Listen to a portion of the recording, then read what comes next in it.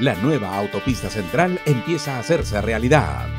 Esta moderna carretera de 20 kilómetros unirá Huachipa con Chosica y te permitirá llegar desde el Puente de Los Ángeles hasta la vía de evitamiento en solo 30 minutos.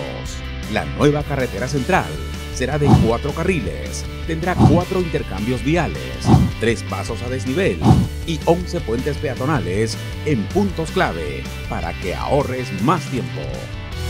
Municipalidad de Lima, simplemente trabajando.